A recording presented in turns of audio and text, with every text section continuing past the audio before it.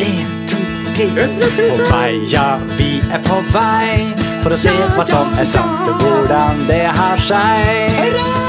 På vei, kom og bli med på vei. Fins det noe som vi kan stole på, eller ei? Bli med oss på Vær så god. En bjørn som klatrer opp et tre, bare at bjørnen er på andre sida. Og så ser du foten hans der. Kjempebra.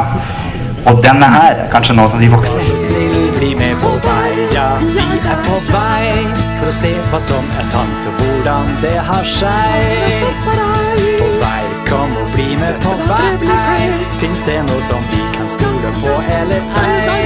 Og hvem er det som har bestemt det? Jo, det er faktisk Norges Bank. For de som har lagd den, de har bestemt at den her er 500 kroner verdt. Om man er krølla, om man har hatt en dårlig dag, om man er litt Spesielt dere, potet. Var vel ikke tegna det? Nei, jeg hadde bare lyst til å si det der ordet. Hva slags ord var det? Potet? De valgte det. Ja. Gratulerer og potet. Akkurat.